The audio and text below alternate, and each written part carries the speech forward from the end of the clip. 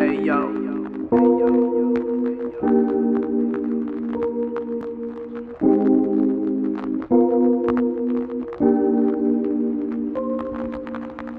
Hey yo. Oh my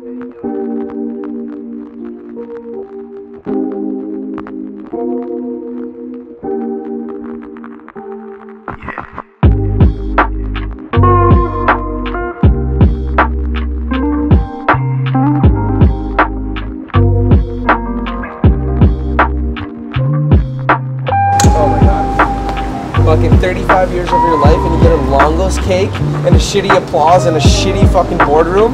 Could you imagine working for 35 years and all you got is a Longo's cake? There's no legacy. There's no three claps. Yeah, so the thing is, to that person, it might mean something to them, but for me, that's not what I want. Because the problem is, for me, I, I define myself by the work I do, so I needed more.